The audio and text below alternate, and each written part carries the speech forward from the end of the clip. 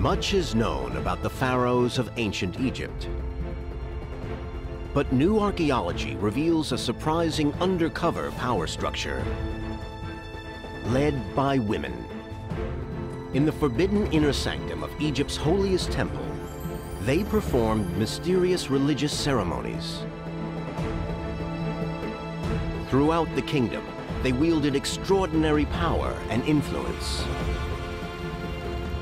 They were said to be married to the king of the gods himself, Amun. By the 8th century BC, the God's wives of Amun had become the most powerful individuals in Egypt.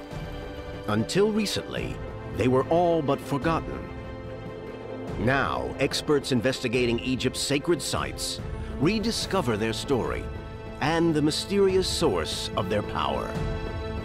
In ancient Egypt, legally speaking, men and women were equals. New archaeology reveals shocking secrets of political and sexual power in the temples of ancient Egypt.